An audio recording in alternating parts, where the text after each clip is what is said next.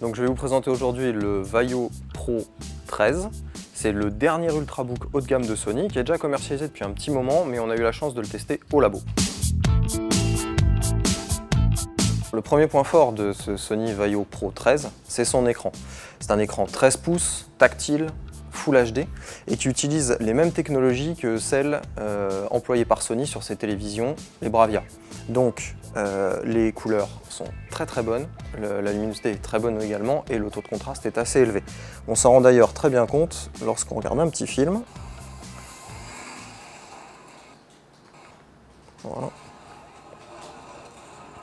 On a des belles couleurs, les noirs sont beaux, c'est très agréable à regarder.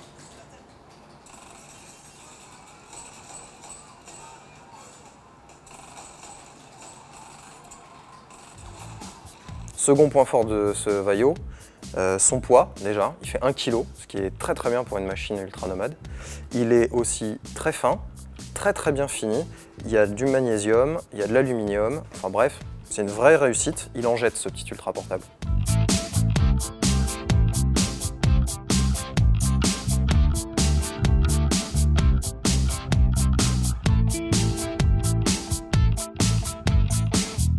Troisième point fort, et pas des moindres, de cet Ultrabook, son autonomie.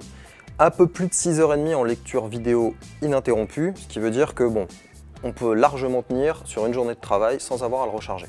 Dernier point fort de ce sa connectique. Alors il y a de l'USB, il y a des lecteurs de, il y a un lecteur de carte mémoire, mais il y a surtout du Wi-Fi, du Bluetooth, du NFC et, cerise sur le gâteau, sur le chargeur, il y a un petit routeur sans fil. C'est très pratique quand on est par exemple à l'hôtel et qu'on n'a pas envie de payer le Wi-Fi.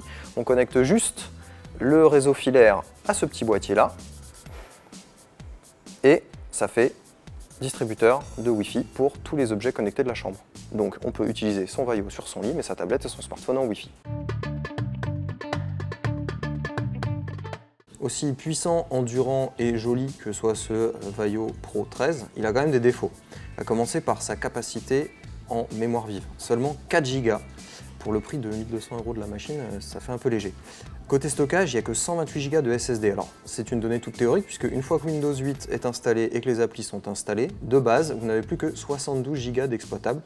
Ce qui, bien sûr, laisse supposer que vous ne pourrez pas archiver vos données, vos musiques, vos photos et vos vidéos en quantité industrielle, il faudra nécessairement les sauvegarder ailleurs. Malgré son manque de mémoire vive et euh, son stockage un peu ric-rac, euh, ce Vaio Pro 13 prend la première place de notre classement de notre comparatif Euh, c'est donc une très bonne machine qui est vendue à peu près entre 1000 et 1100 euros alors que Sony l'a annoncé à 1200 euros. C'est plutôt un joli cadeau à se faire avec les étrennes du Nouvel An.